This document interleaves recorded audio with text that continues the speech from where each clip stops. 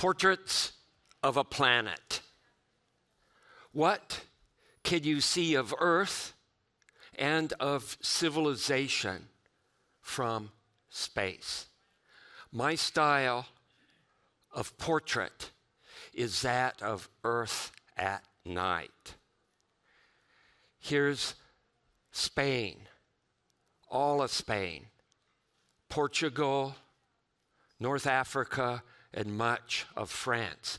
From a space vantage point, you could see structure on the order of half a continent. And this adds information that you can apply to observations made from the tops of mountains, from airplanes, and from boots on the ground. Now, you look at Spain, and it's patently obvious where civilization is from the way we sprinkle our light bulbs out over the surface of this globe. Florida, all of Florida, from Key West to Tallahassee into Georgia, you can see Atlanta there, all in one picture. And it becomes patently obvious again where are human beings located? Because we all like to uh, become active after the sun comes down, and our lighting uh, uh, basically adds more hours to our day, more years to our life, because we could continue to do meaningful things after the sun sets. We like our lighting. New Orleans, one of my favorite places.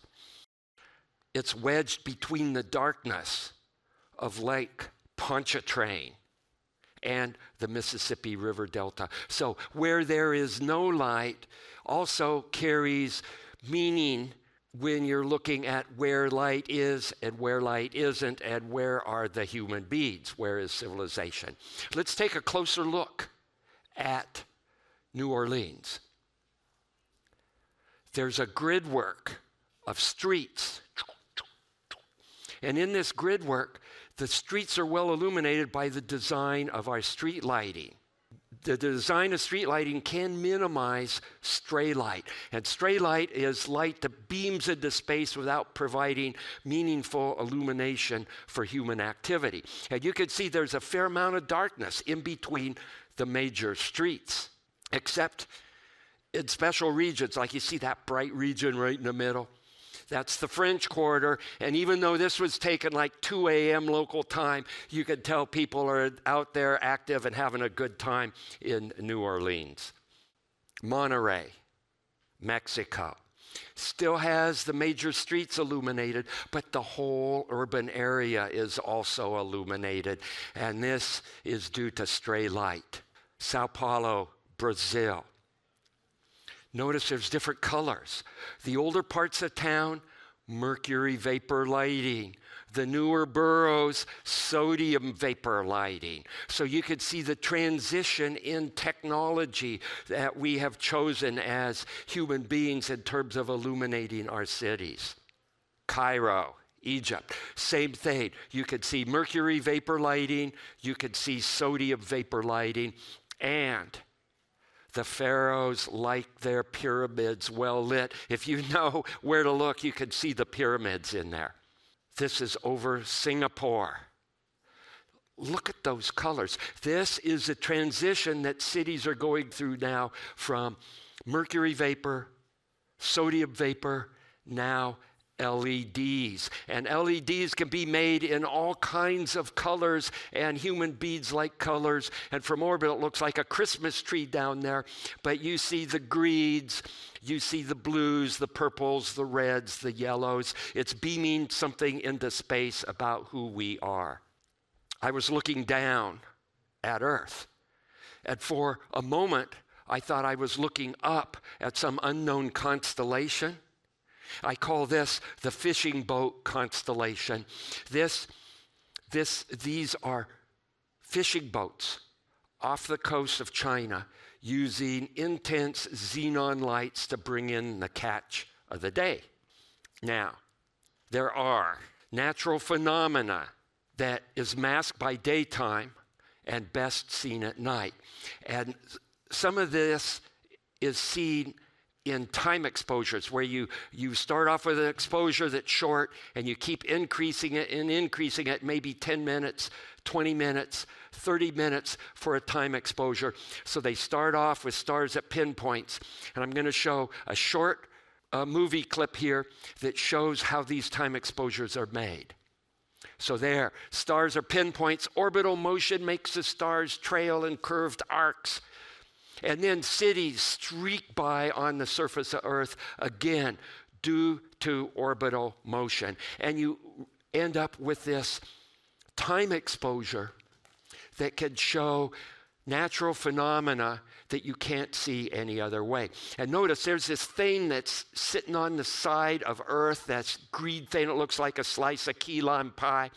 That's our atmosphere on edge. This is one of my favorite time exposures. I call it galactic pinwheel.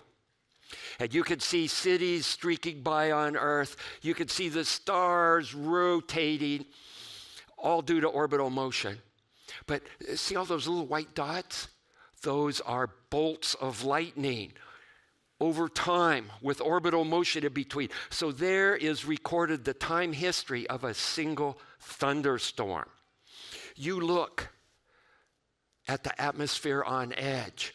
It's translucent. You could see starlight coming through from behind. And you'll, if you look close, you could see that the slope of the star motion changes as it goes into deeper and deeper layers. So you can ascertain things about the density structure, the layer structure in our atmosphere. Another time exposure. The pastel colors come from LED lighting. This is over Southeast Asia. And again, with the atmosphere, the scale height on that is about 120 kilometers. And that's not all our atmosphere, but most of our atmosphere. And that's what we have that separates us from the vacuum of space. Now, all of these pictures that I've taken, and all the pictures that any astronaut has taken from the International Space Station, they are in the public domain and available from NASA website, Gateway to Astronaut Photography. So you, for your projects, to raise attention for what this planet is about, and what civilization is doing on this planet, you've got access to all these pictures. Just go to this website. There's a search engine. I take a little investment in order to learn how to use it, but you can find you can find day pictures, you can find night pictures, you can find pictures over specific regions of Earth. Portraits of a planet. What can you see of Earth and of civilization from space. The length scale of half a continent allows observations that can complement observations made in other ways airplanes, mountaintops, boots on the ground. And all this information is available to you all through the public domain websites that NASA has. And you can use these images for whatever projects, raise attention to whatever you are doing.